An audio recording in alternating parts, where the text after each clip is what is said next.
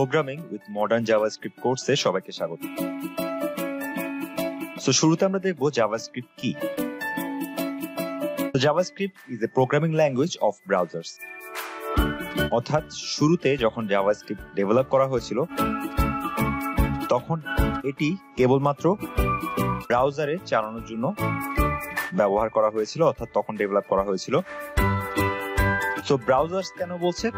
Programming language of browsers কারণ হচ্ছে এটি ক্লায়েন্ট সাইডে ইউজ হয়, অর্থাৎ শুধুমাত্র ওয়েব পেজের মধ্যে এটা ইউজ করা হতো। So it gives life to web pages কেন it gives life to web pages কারণ আমরা কোনো একটা ওয়েবসাইট তোমরা যদি কোনো ওয়েবসাইট ভিজিট করে থাকো, দেখবে অনেকগুলো ওয়েবসাইটের মধ্যে তোমার স্লাইডার যায়। এবং অনেকগুলো ওয়েবসাইটে দেখবা তোমার কোনো রানিং ক্লক চলতে থাকে। অর্থাৎ ওয়েবসাইটটাকে অনেক বেশি রেসপন্সিভ করে। তো সেজন্য বলা হচ্ছে gives life to web pages so এটাকে ক্লায়েন্ট সাইড স্ক্রিপ্টিং ল্যাঙ্গুয়েজে বলে। ক্লায়েন্ট সাইট স্ক্রিপ্টিং ল্যাঙ্গুয়েজ বলতে, এটা হচ্ছে আমাদের কোন একটা ওয়েব পেজে ব্রাউজারের মধ্যে এটা চলতে থাকে। সো ব্রাউজারের মধ্যে এই ল্যাঙ্গুয়েজটা চলতে থাকে বলে এটাকে ক্লায়েন্ট সাইড স্ক্রিপ্ট ল্যাঙ্গুয়েজ বলে। তো যখন কোনো ইউজার এই কোনো একটা ব্রাউজার ব্রাউজ করে বা কোনো একটা ওয়েব পেজ ব্রাউজ করে, তখন ওই ইউজারটাকে যদি আমরা ক্লায়েন্ট ধরি, তাহলে সে যে ইনফরমেশনগুলো দেখে, সেগুলো হচ্ছে জাভাস্ক্রিপ্টের মাধ্যমে আমরা রেসপন্সিভ করতে পারি, সেজন্য এটাকে ক্লায়েন্ট সাইড স্ক্রিপ্টিং ল্যাঙ্গুয়েজ বলে। So JavaScript use along with HTML অর্থাৎ এক সময় পর্যন্ত জাভাস্ক্রিপ্ট শুধুমাত্র এইচটিএমএল কোডের সাহায্যেই তোমার লেখা হতো, অর্থাৎ এইচটিএমএল কোডের ভেতরে অথবা এইচটিএমএল কোডের সাথে অ্যাসোসিয়েট করে তোমার জাভাস্ক্রিপ্ট কোডগুলো লেখা হতো। সো সার্ভার সাইড ডেভেলপমেন্টে জাভাস্ক্রিপ্ট কখন আসছে? তো আস্তে আস্তে যখন হচ্ছে আমার জাভাস্ক্রিপ্ট কোডটার আরও পাওয়ারফুল হয়েছে, তখন এটা শুধুমাত্র তোমার ওয়েব পেজ অথবা ফ্রন্ট এন্ড ডেভেলপমেন্ট অথবা ব্রাউজারের মধ্যে ডেভেলপমেন্টের জন্য সীমাবদ্ধ নাই। তো JavaScript is can be executed on server of তো সার্ভারেও অর্থাৎ সার্ভার সেট ডেভেলপমেন্টেও অত ব্যাক এন্ড ডেভেলপমেন্টেও জাভাস্ক্রিপ্ট ইউজ করা যায়। থ্যাংকস টু নোট জেস অর্থাৎ নোট জেস ডেভেলপ করার পর থেকে এই জিনিসটা করা সম্ভব হয়েছে Even Android and iOS app can be developed using JavaScript. Thanks to React Native. So, এর later on Facebook React Native develop করেছে যেটার মাধ্যমে জাভাস্ক্রিপ্ট দিয়ে এখন অ্যান্ড্রয়েড এবং আইওএস অ্যাপও ডেভেলপ করা সম্ভব হচ্ছে তো বুঝতে পারছ জাভাস্ক্রিপ্ট এখন শুধুমাত্র ওয়েব পেজকে রেসপন্সিভ করার জন্য ইউজ করা হয় না।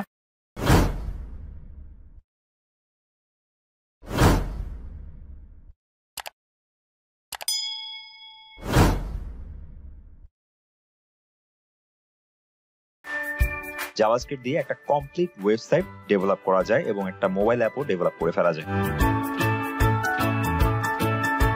তো জাভাস্ক্রিপ্ট ভার্সন নিয়ে আমরা এখন কথা বলব। তো জাভাস্ক্রিপ্টের ভার্সনগুলো একটা জাভাস্ক্রিপ্ট কমিউনিটি দ্বারা মেনটেন করা হয়।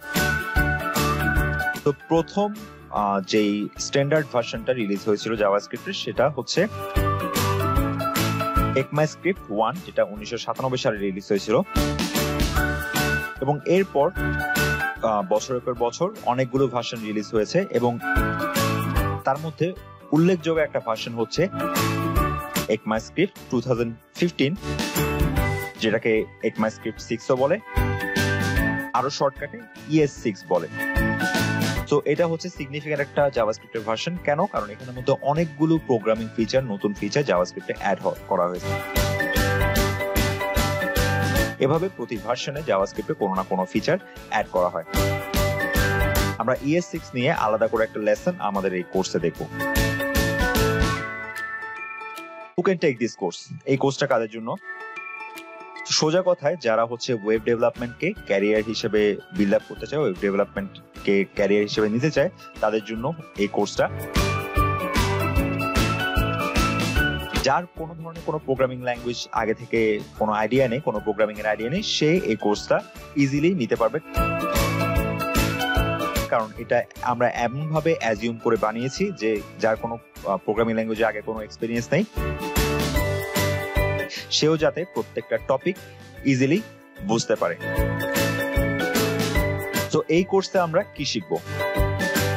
এই কোর্সে বেসিক্যালি আমরা ফান্ডামেন্টালস অফ জাভাস্ক্রিপ্ট অর্থাৎ একটা জাভাস্ক্রিপ্ট ল্যাঙ্গুয়েজের আমরা যেই যে ফান্ডামেন্টাল বেসিক টপিকগুলো আছে, এগুলো আমরা এখানে শিখব। এরপর আমরা অবজেক্ট ওরিয়েন্টেড প্রোগ্রামিং শিখব, কীভাবে জাভাস্ক্রিপ্টের মাধ্যমে আমরা অবজেক্ট ওরিয়েন্টেড প্রোগ্রামিং করতে পারি। ডকুমেন্ট অবজেক্ট মডেল সম্পর্কে আমরা জানব। একটা এসটিএমএল ডকুমেন্টকে কীভাবে আমরা জাভাস্ক্রিপ্ট দিয়ে ম্যানিপুলেট করতে পারি সেটা আমরা দেখব। রেগুলার এক্সপ্রেশন সম্পর্কে জানব অ্যারোর হ্যান্ডেলিং সম্পর্কে জানব। এরপর জাভাস্ক্রিপ্টের মাধ্যমে অ্যাসিনক্রোনাস প্রোগ্রামিং কীভাবে করতে হয়, কীভাবে প্রমিসেস নিয়ে কাজ করতে হয়, সেটা আমরা এক্সাম্পল দেখব। এরপর আমরা এজেক্স আর ফেচ এপিআই নিয়ে কাজ করব। এরপর আমরা ECMAScript 6 এবং অথবা ES6 নিয়ে আলাদা একটা সেকশনে অথবা আলাদা একটা লেসনে আমরা এর নতুন ফিচারগুলো নিয়ে একটা আলোচনা করব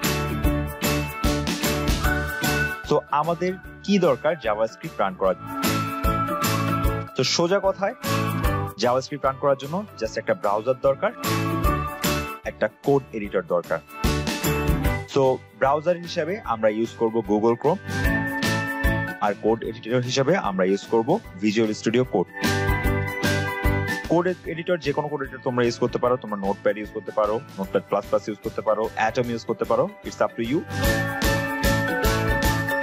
but আমরা এই কোর্সে ভিজুয়াল স্টুডিও কোড ইউজ করব এবং ব্রাউজার হিসাবে আমরা গুগল ক্রোম ইউজ করব।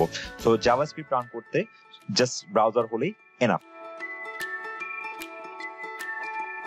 তো জাভাস্ক্রিপ্ট ইঞ্জিনগুলো কি?